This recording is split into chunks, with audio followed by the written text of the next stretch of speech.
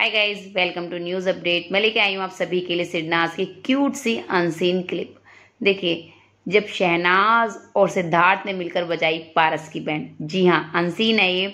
और इसके अलावा जब शहनाज का मज़ाक बनाने की कोशिश की गई तो सिद्धार्थ को बुरा लगा। सच में बुरा लगा, उनके एक्सप्रेशन बिल्कुल चेंज हो गए।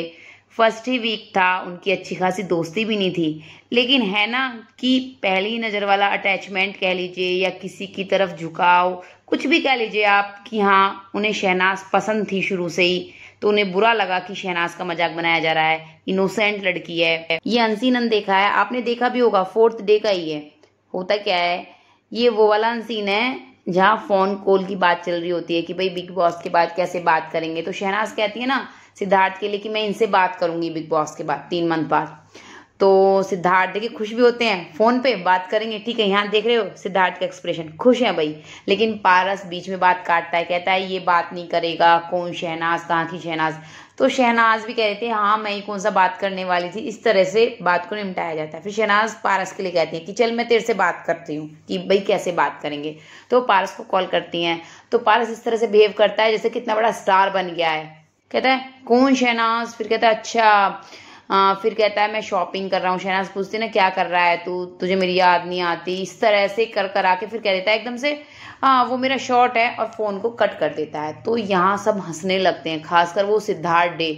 बस सच में ना गाइज़ आप यहाँ पे सिद्धार्थ के एक्सप्रेशन देखिए ना ये हंसने वाले हैं ना ये किसी का मज़ाक उड़ाने वाले हैं। सच में जिसने सिद्धार्थ को करीब से देखा है ना बिग बॉस में वो जानता है यहाँ उन्हें बुरा लगा सच में, और अगर आप वीडियो में देखेंगे तो तुरंत समझ जाएँगे कि भाई हाँ उन्हें बुरा लगा जिस तरह से शहनाज का मज़ाक बनाया गया। अब बदला तो लेना था, ठीक है ना?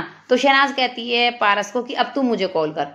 तो एकदम से सिद्धार्थ क्या कहता है हाँ हाँ पाँच साल बाद। अब ये क्यों कॉल करेगा? वहाँ ऐसे होने लगता है कि भाई ये क्यों कॉल करेगा? अब तुझे कॉल बैक क्यों करेगा? इस तरह से दिखाने लगते हैं। तो एकदम से सिद्धार्थ कहते हैं अब उन्हें तो मज़ाक बनवाना था ना भाई पारस का। तो कहते हैं, बदला लेना था। कहते हैं हाँ हाँ तू पंजाब गया है ना तो कॉल कर। हाँ तो इस बात पे वो राज़ी हो जाता है। तो कहता है हाँ हाँ शहनाज, मैं पंजाब आया हूँ। तो शहनाज कह देती है हाँ हाँ मुझे शॉपिंग जाना है। ठीक है ना? ओ भाई, उस बात पे क्या हँसते हैं, सिद्धार्थ ये देखिए। अब एक्सप्रेशन देख लीजिए आप। तीन एक्सप्रेशन मैंने आपको दिखाए।